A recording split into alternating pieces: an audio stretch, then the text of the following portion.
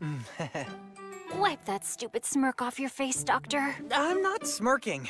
I'm just happy that Illy is doing so much better now, that's all. Oh, now I've done it. I've got a bad feeling about this. water?